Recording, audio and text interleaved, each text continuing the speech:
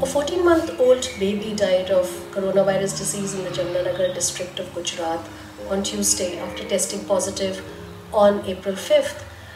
And this is very unfortunate, of course, and it's also very rare because coronavirus disease usually doesn't cause very severe illness in young children and in adolescents and teenagers.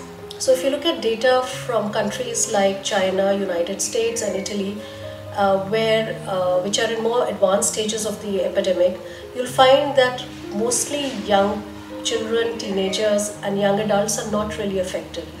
So, what does this mean? Because if you really look at data from India, it shows that about 9% of the infections in India so far have been in the 0 to 20 year age group, and about 42% have been in the 21 years to 40 years age group, which essentially means that 53% of the infections in India so far have been in people under 40. And this is the data that was released by the Ministry of Health on Saturday, about three, four days ago. So, does this mean that young India is at higher risk of infection compared to the rest of the world? And what is it that's putting our people at higher risk? Because this would be really worrying for India, where the median age is 29 years old. India is essentially a very young country. And if you look at the median age in India, which is 29, and you compare it to the US, in the US, uh, the median age is 38.2. In China, the average age of the population is 38.4, and Italy, it's, it's much higher, it's 45.7. So, if younger people are getting infected, it would be really something to look into because that would mean a lot of us, a lot of young people would be at higher risk of infection. But what experts and epidemiologists say that uh, the uh, infection is showing up more in younger people is because there's a testing bias.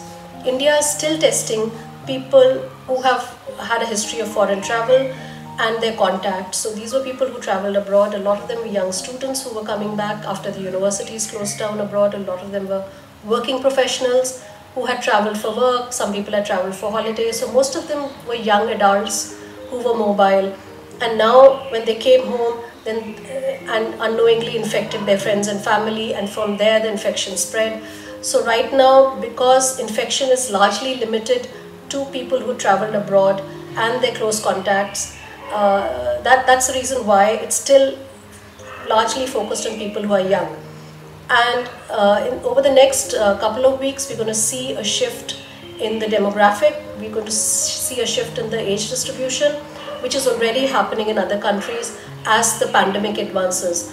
So, like initially in China, the data from the first 44,000 infections in Wuhan and other provinces in China showed that uh, most of the people who were infected were over 60 years old.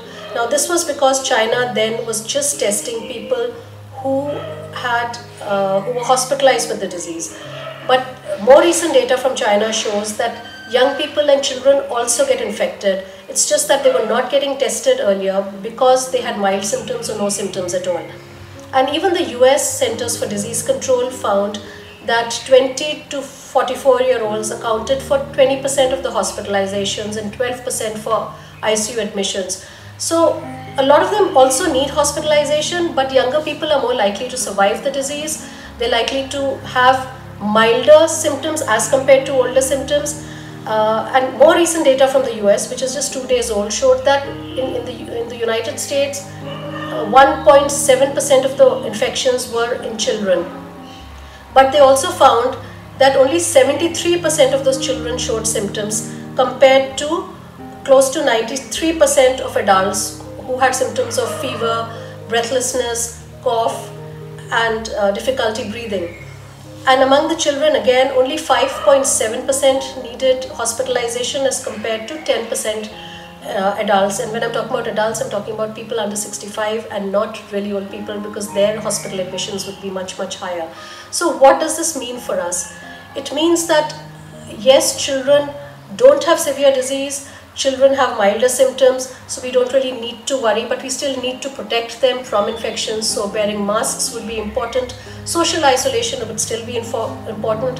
And we must remember that while children may not develop disease, they are still carriers of the infection. So they can take the disease to older people who would be at risk of hospitalization and death. So we have to be careful with children around and ensure that they stay protected. And we have to also ensure that older people in our homes stay protected so that we can uh, we have fewer hospitalizations and fewer deaths. So guys again stay home stay safe